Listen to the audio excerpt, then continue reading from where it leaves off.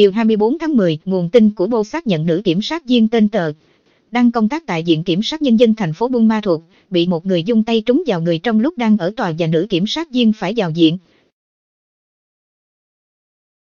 Nguồn tin này cho hay, chiều cùng ngày, bà Tờ từ cơ quan đến tòa án thành phố Buôn Ma Thuột để nhập cuộc tố tụng trong một vụ án dân sự. Khi đi trong khuôn viên tòa án, bà Tờ bắt gặp một cụ già đang nằm ở hành lang thì đến hỏi thăm. Thời điểm này, một thanh niên dung tay trúng vào mặt bà Tờ. Được biết, bà Tờ đang mang thai tháng cuối. Sau khi sự việc, bà Tờ đã được đưa vào bệnh viện để theo dõi sức khỏe. Sự việc xảy ra, Viện Kiểm sát Nhân dân tỉnh đã đề nghị cơ quan công an trích xuất camera và điều tra làm rõ.